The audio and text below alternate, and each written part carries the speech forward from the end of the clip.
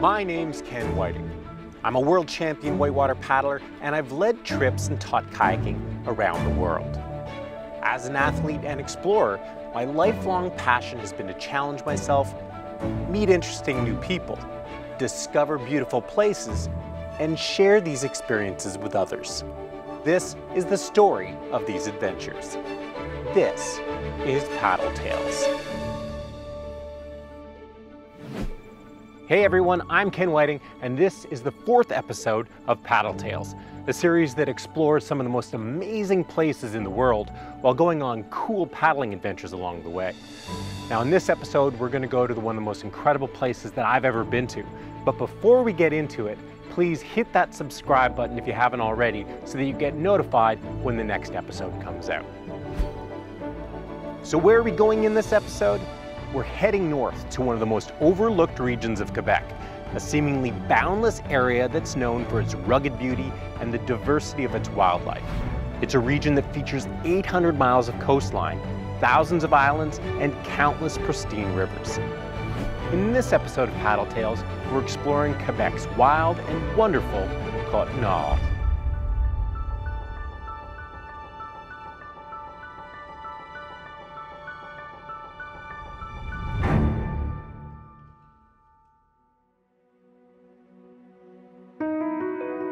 The Côte Nord region is located in eastern Quebec, stretching along the St. Lawrence waterway from Tadoussac to Blanc-Sablon at the Labrador border. The area has countless natural treasures to discover, which is why it's considered by many to be the unpolished jewel of the province.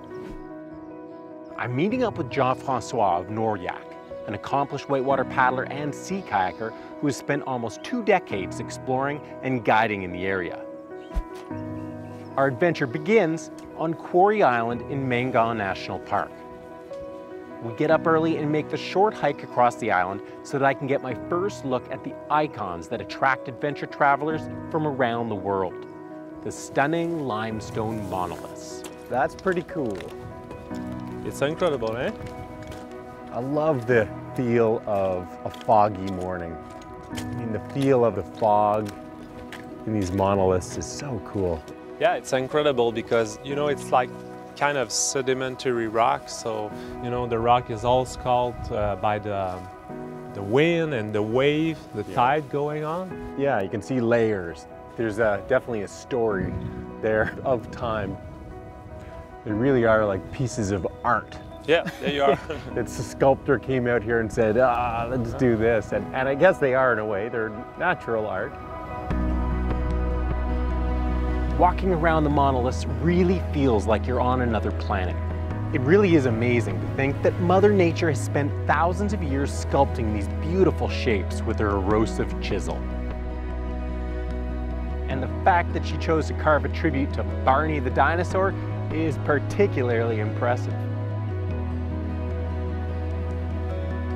This rock really is beautiful. It's like these little pieces of Lego that have been put together. It's actually quite fragile and you can, you can tell how this is going to be carved pretty quickly by the elements.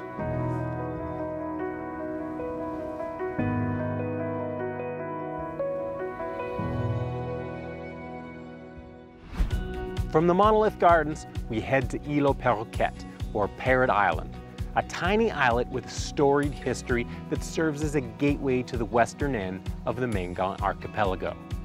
We climb up its recently restored lighthouse to get a unique vantage point of the rare and beautiful marine environment that surrounds us. You know, lighthouses are awesome structures, but they're even better when you're on top of them. And now that the fog is starting to lift, got a great view of the whole area. You can see the sea floor, the waves coming in, the birds everywhere.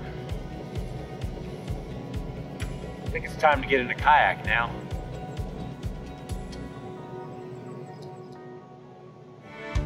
I can hardly wait to get out on the water and experience the Mingan archipelago more closely. So I quickly assemble my TRAK kayak, while above, a splendid audience of local wildlife observes my every move.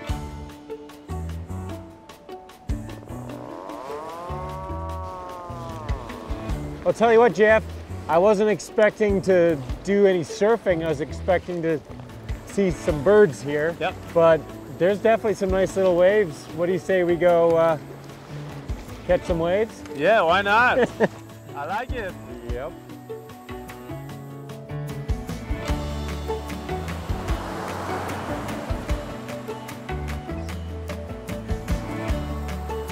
We got a little puffin buddy. Yeah, it's just there. Incredible. That's the coolest thing about this island is there are birds Just everywhere. and not just birds, No, birds you don't really find many places in the world. Puffins. One of the coolest looking birds I think I've seen. I found they look like a clown a bit. And when they fly, it's special because uh, they work hard, you know? Yeah. And I love how they drop off the cliff, get speed, and then just cruise the surface. They're like little fighter jets.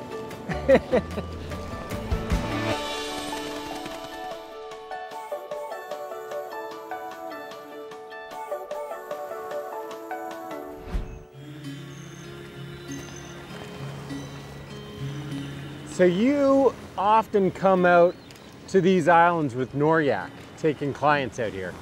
Yeah. Noryak Aventure is uh, in base in the Minganie region. Yeah.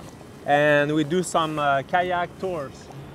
So um, a classic one is to go to a Perroquet, but this one you, you gotta be a strong paddler or in good shape to do it. Because we're about, what, three miles from mainland? Yeah, in kilometers about four to five. We have to manage that. Kayak guide uh, know how to deal with that. So yeah, we take care of people and give them a good paddling uh, trip. With so many islands and channels and the river to play with, you can almost always find somewhere to paddle. Whether you're paddling for yourself or taking clients, or it's, there's something.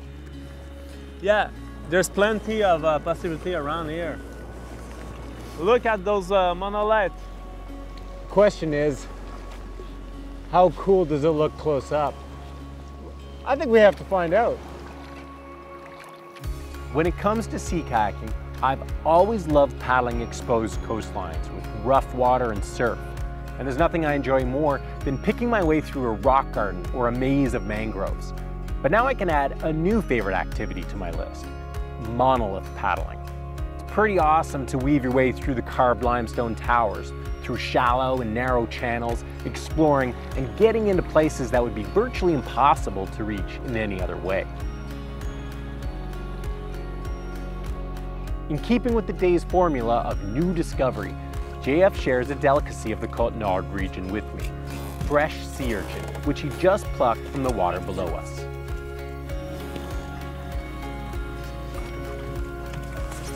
Want to taste it? I don't know. Do, do I want to taste it? Come on, Yeah. let's go. After you. I, I did. I just did before.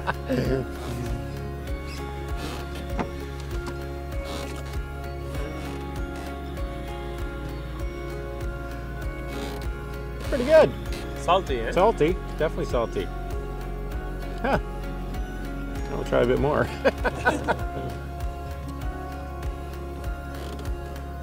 Our first day in Mingan National Park was everything I'd hoped for, which is saying a lot because I had extremely high expectations. There's just something about the North that has always captivated me, and this area is another perfect example of the magic that's waiting to be discovered. Look at this. Whoa. Of course, there's lots of different ways to experience the magic, which is why I'm excited to grab a paddleboard with Jane-Anne Cormier of Les Vagues. Together, we'll explore one of the many rivers that drops into the Gulf of the St. Lawrence. So you grew up here, I did. but you didn't actually really start exploring the rivers and the coast until you left Yeah. and then came back. Exactly. I guess you need some time to change scenery to realize what you what's got. there. Yeah. I've always loved being in nature, but like never had like water sports equipment or whatever. Or so it's it's really a new way to discover this area that I've grown up with, known my entire life, but didn't really know that way. So what does Les Vagues do? Um, right now, it's um, a stand-up paddleboard school, I guess I could call it. uh, so we're giving uh, introduction classes. Uh, it's possible to also rent the material, to rent the boards, rent the wetsuits to go on the water by yourself once you've experimented enough. And I also offer a guided excursion I'll tell you what, this is one of the spots that I've been wanting to visit for a long time. Yeah. And it is, it's very much what I hoped it would be. It's a mix of the north with you know, the beautiful forest, but at the same time, rugged coastline. I mean, it's rugged wilderness here. Oh yeah, it is. And it is. I mean, that's what's so cool about having the park here. Yeah. Is that it just, boom, it makes it very accessible. And it's funny because that's a comment that I get a lot in the city. Like, well, there must not be that much to do over there. well, depends on what kind of things you like to do because no, there's no movie theater and Yeah. there's no malls and there's no things like that. But it's a little bit more of an adventure place to go. Yeah, that's exactly it. It's, that's what's so attractive to me. As we paddle down the coast, it's pretty obvious why Jane Ann would return to the Côte Nord after 10 years living in Montreal.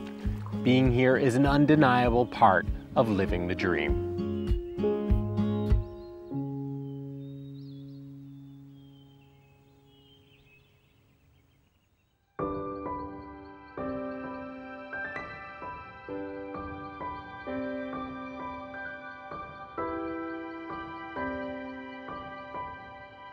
With the arrival of our final day, I struggle with the idea of having to leave. The rugged beauty of the region is spellbinding, but as a fresh group of travelers prepare for their own paddling adventure, I start getting excited myself because today Jean-Francois and I are taking our sea kayaks to the rapids that are found only a few hundred yards from the Noryak base, where the Romaine River drops into the St. Lawrence.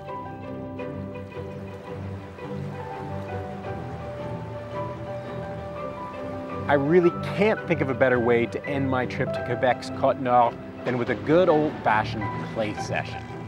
After all, the area is without a doubt one of the world's most incredible outdoor playgrounds, and I like to think of kayaks as being nothing more than toys for big kids to take advantage of the natural world.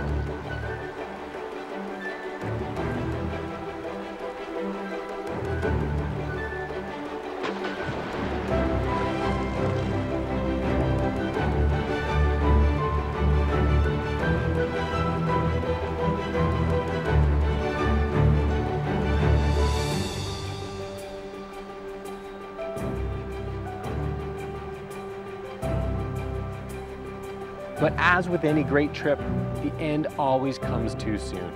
I'm sad to leave, but incredibly thankful for the experience I've had in this wild and wonderful region known as the Côte Nord.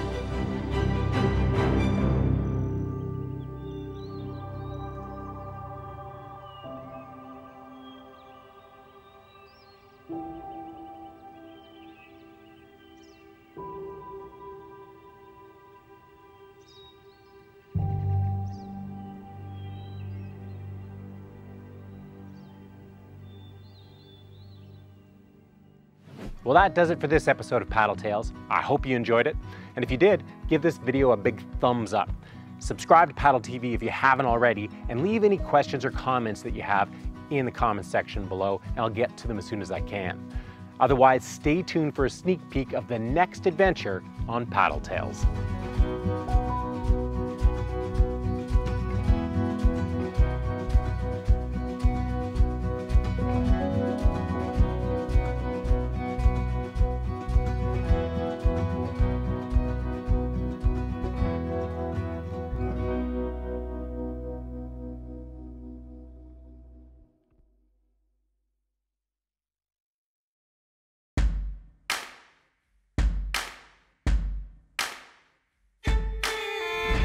Next time on Paddle Tales, I'm heading to Les Îles de la Madeleine, a breathtaking chain of islands located far from anywhere else in the Gulf of the St. Lawrence. We'll explore the stunning coastline by sea kayak, discover the unique pleasures of island living, and swim our way into some of the Earth's most incredible cracks and crevices. These Îles de la Madeleine are unlike anything you've ever seen, and you won't want to miss it.